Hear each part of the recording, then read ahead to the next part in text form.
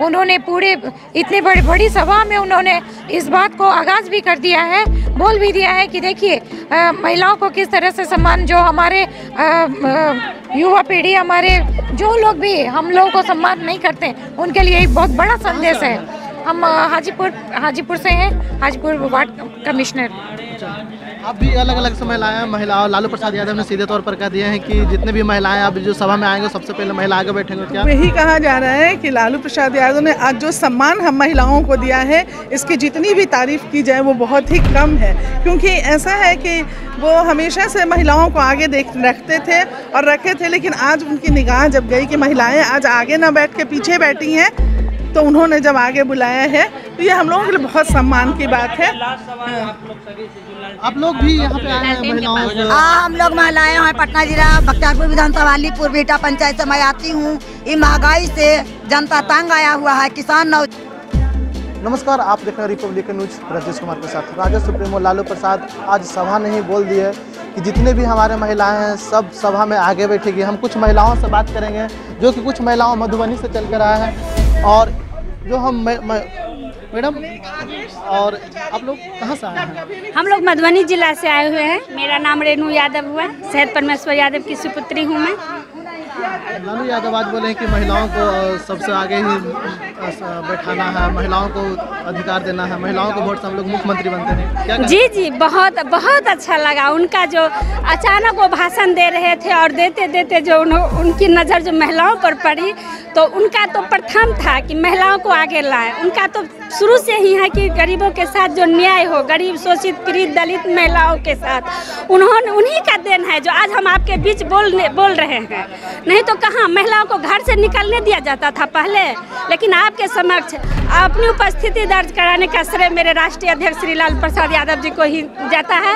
और आज उन्होंने जो हम लोग को गौरवान्वित किया है, इसके लिए मैं अपने तहे दिल से, सभी महिलाओं की ओर से मैं उनको बहुत बहुत बहुत धन्यवाद देती हूँ। और जो उनका जो दिशा निर्देश मिला है, वह सब अच्छा पालन हम लोग करने का काम करेंगे। हम लोग तो सैनिक हैं। राष्ट्रीय जनता दल के हम लोग सैनिक हैं और मिल करके मिल करके तेजस्वी भाई, हमारे जो तेजस्वी भाई, उनको मुख्यमंत्री बना करके ही हम दम लेंगे और हमारी महिलाएँ दम लेगी। यही उद्देश्य हम लोग का है। और यही राष्ट्रीय जनता दल के द्वारा हमारे राष्ट्रीय अध्यक्ष श्री लालू प्रसाद यादव जी का जो उन्होंने बोले हैं, मैं ये इतना ही यहीं तक नहीं, मैं उनके जहाँ भी वो गए हैं, चाहे वह रांची का जेल हो या चाहे वहाँ दिल्ली में हो, हम सब जगह जाने का काम किए हैं। और और यहाँ जो हमने देखे हैं तो मुझे बहुत ये हुआ है कि आज अपने गार्जियन को सामने देखें। इसके लिए मैं बहुत बहुत धन्यवाद उनको देती हूँ। अभी यहाँ पे राजद कार्यालय में लालू प्रसाद यादव बोलने की महिलाओं को अब जो आरक्षण रखना आगे रखना सीखते तो क्या कहना चाहते हैं? ये परम आदरणीय लालू प्रसाद यादव जी का बहुत बड़ा बड़कपन है। बहुत मैं उनका आदरणीय है, माननीय वो शुरू से हम लोगों पे बहुत ज़्यादा ध्यान रखे हुए हैं, बहुत ज़्यादा ध्यान देते आए हैं कि महिलाओं को सम्मान दिया जाए, उन्हें आगे आगे की सीट मिले। वो महिलाएँ आज के डेट में किसी से कम नहीं। ये आज स्टेज के द्वारा उन्होंने पूरे, इतने बड़े, बड़ी सभा में उन्होंने इस बात को आगाज़ भी कर दिया है बोल भी दिया है कि देखिए महिलाओं को किस तरह से सम्मान जो हमारे आ, आ, युवा पीढ़ी हमारे जो लोग भी हम लोगों को सम्मान नहीं करते उनके लिए एक बहुत बड़ा संदेश है। हम हाजीपुर हाजीपुर से हैं हाजीपुर वार्ड कमिश्नर। अब भी अलग अलग समय लाए हैं? महिलाओं, लालू प्रसाद यादव ने सीधे तौर पर कह दिया है कि जितने भी महिलाएँ अब जो सभा में आएँगे, सबसे पहले महिला आगे बैठेंगे, क्या? यही कहा जा रहा है कि लालू प्रसाद यादव ने आज जो सम्मान हम महिलाओं को दिया है, इसकी जितनी भी तारीफ़ की जाए, वो बहुत ही कम है।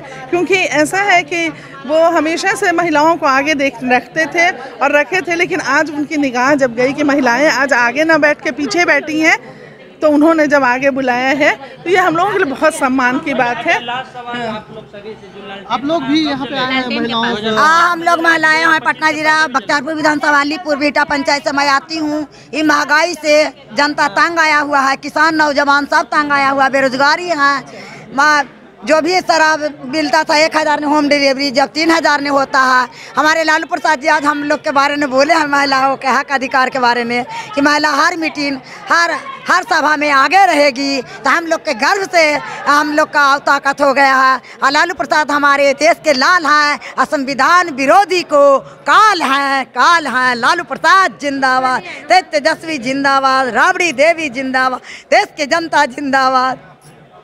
रिपब्लिकन न्यूज़ से जुड़ने के लिए सब्सक्राइब बटन दबाकर चैनल को सब्सक्राइब करें।